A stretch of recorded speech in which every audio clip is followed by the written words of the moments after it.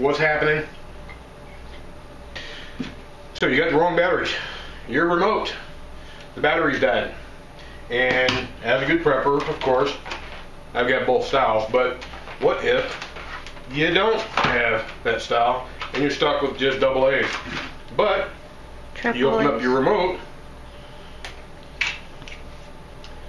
your remote takes triple A's, double A's.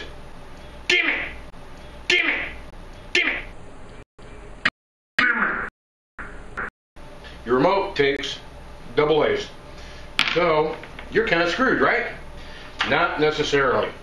Let's grab a couple triple A's and check this little trick out. Aluminum foil.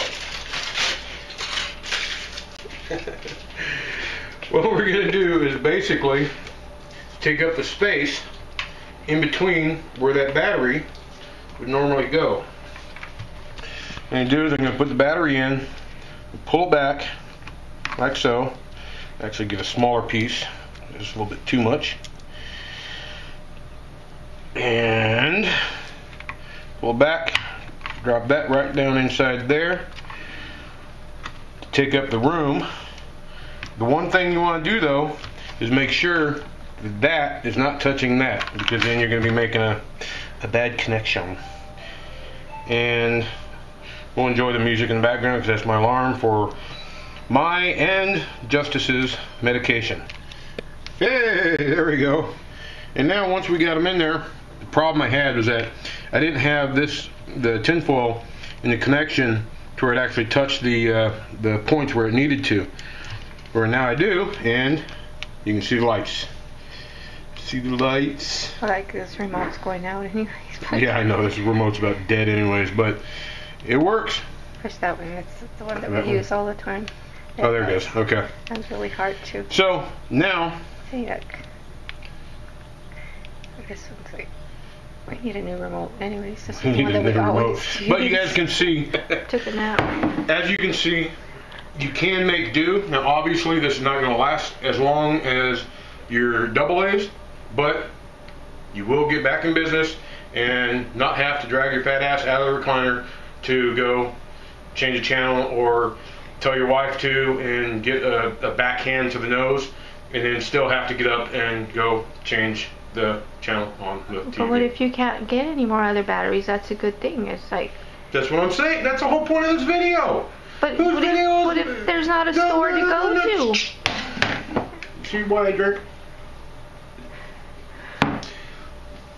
She's trying to say, which I think you all already figured out, and I even said it in the beginning, if you don't have the double A's, but you do have triple A's, you can make it work. I just showed you. Look. Oh. Red light. It works. With double A, triple A's. Duh, yeah. Oh my god. You've made a mess of this video, woman. I need to meet you back. Y'all, take it easy. Just having fun here, showing some little tricks and stuff like that. And do you have any recommendations on a good wheat beer? I like this because it's kind of fruity. Like you. Silly bitches. Let me know. Talk to you later and uh, have a good one.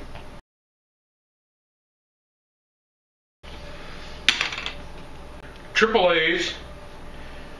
You're getting severe beating after this video's over. I told you not to talk while I film.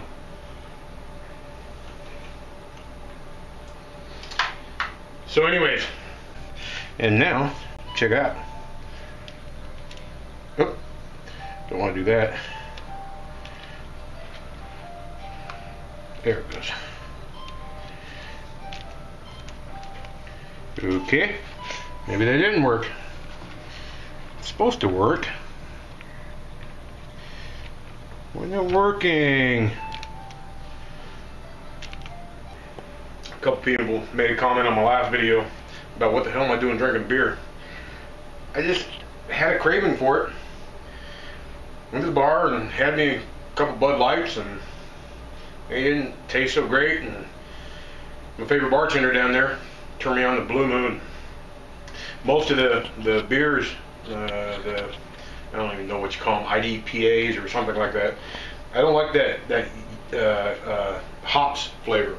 Where this is a wheat beer and or a wheat ale, Belgian style wheat ale. Oh, and uh, this shit rocks. I love it.